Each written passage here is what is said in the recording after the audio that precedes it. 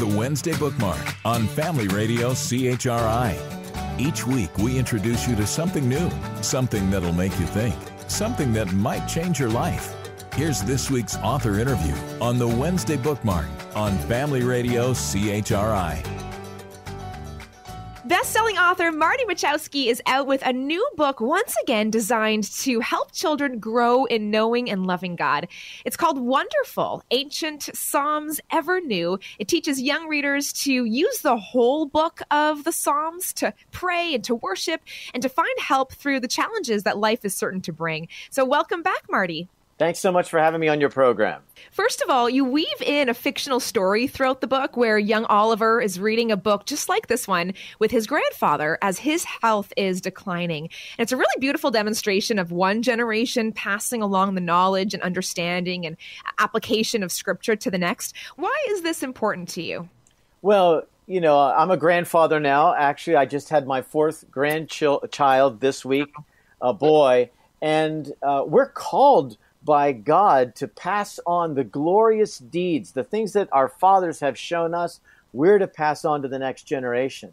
And it's so important because, hey, think about how much we've learned in our lives. Mm. If if our kids and our grandchildren can benefit from learning from us, uh, how much further along could they be, and perhaps not making some of the mistakes that we've made? Absolutely. Yeah. And and I know the Psalms is a great place to start for people who are new to the Bible and you're so good at uh, you know simplifying uh, scripture and theology in a way that kids will understand. When we look at the Psalms specifically though and we're talking for uh, you know for for young readers but also for all ages, what do the Psalms say about God and what do they say about us? Well, you know, the Psalms are a tremendous book of the Bible and they teach us literally everything we need to know about God. And someone might say, well, that's the Old Testament, Marty. Uh, what about Jesus? And what you find is the Psalms actually teach quite a bit about Jesus. Long before Jesus ever came, Psalm 22 described the way that Jesus would die, even down to they would cast lots for his garments. And so the Psalms are this wonderful book where we see characters of the Old Testament in their struggles crying out to God honestly. Mm-hmm. So that when they were having really terrible times, they would just say, God, these times are terrible. What's going on? And just be quite honest with the Lord. I think that some people have this thought that our prayers need to be polished, perfect, and precise. And what we see from the Psalms is no, God is just interested in us running to Him for help in our time of need. And so introducing this book to children gives them all the tools they need to learn about God, and then more importantly, to talk to God as they watch the great saints of old, like King David, call out to God in the midst of his trials. Uh, how in the book are you teaching readers to pray through the Psalms? Can you be a bit more practical with what you teach here? Yeah, um, well, the story of Oliver that's woven through it is actually designed to give a demonstration.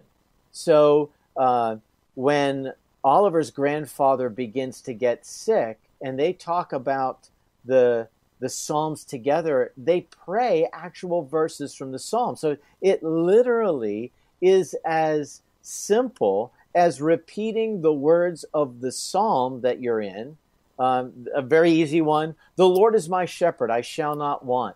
Psalm 23. And uh, he prepares a banqueting table in the presence of my enemies. Surely goodness and mercy will follow me all the days of my life. So, you know, you're reading through the Psalms, you're just reading those verses, but what you do is you make them your own. Personalize. The Lord is my shepherd. And when you say that, you think not David of ages past, but of Marty Machowski of today present. And it becomes a prayer for today, not just a psalm from yesterday. And I think that exercise too just helps us get in that practice of actually understanding what the text says and applying it to today. Like just generally, not just as a prayer, but just a general good practice when it comes to studying scripture. That's true. And the Psalms so often bring us back. Like if you look at Psalm 43, the psalmist asks the question, Why are you so downcast, O my soul? And why are you in turmoil within me? And then it says, boom, turns it around. Hope in God, for I shall again praise him, my salvation and my God. It, it, it shows you that it's okay to tell God your problems, but let's not forget that God is also your solution, and he will come through in the future for you. Hmm.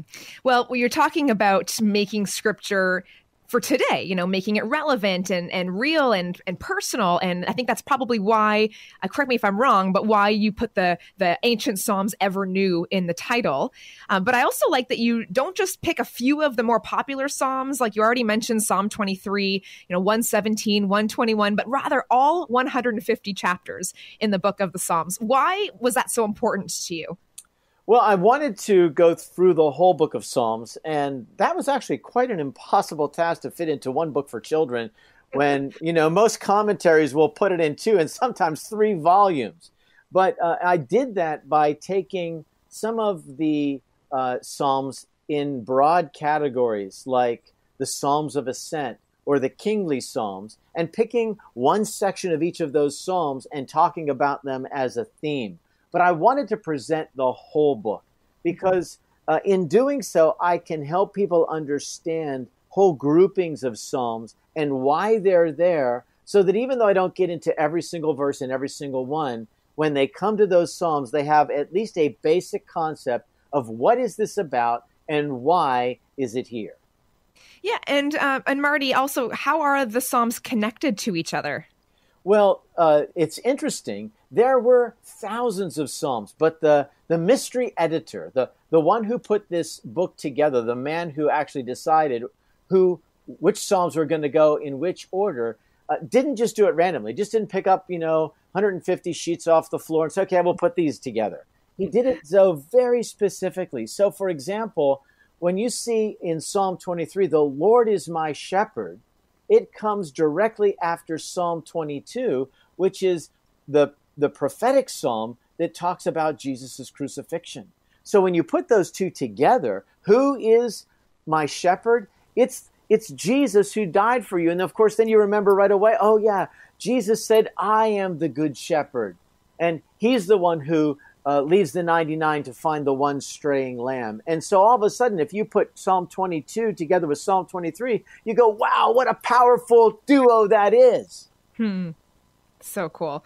Marty, as we wrap things up, I know that it's been a challenging year for everyone. Um, and these Psalms we've already talked about will help readers deal with their troubles and with challenges that come our way. But I want to know what is overall your hope for young people today? My hope for young people today is that they would not be distracted by the world. There's so much coming at them video, games, and, and the internet holds so many challenges. Uh, my hope is that I preserve this wonderful tool of books and reading because that tool is what God has given us to reveal Himself to us. So if I can help the next generation who's caught up with video games, and they can be fun, pull away, look at a book, learn about God, and then get even more interested to turn to their Bibles. If I get one kid to turn back to his Bible, I feel like all it was all worth it. Then that's mm-hmm. my desire. Well, it's encouraged to have your Bible with you when you're going through the book. Journaling is a big part of it. And there's also a study guide for older kids to go deeper at the back of the book, too.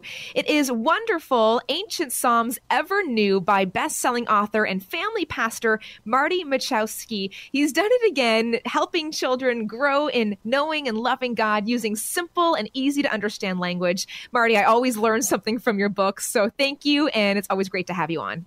Thanks for having me on your show.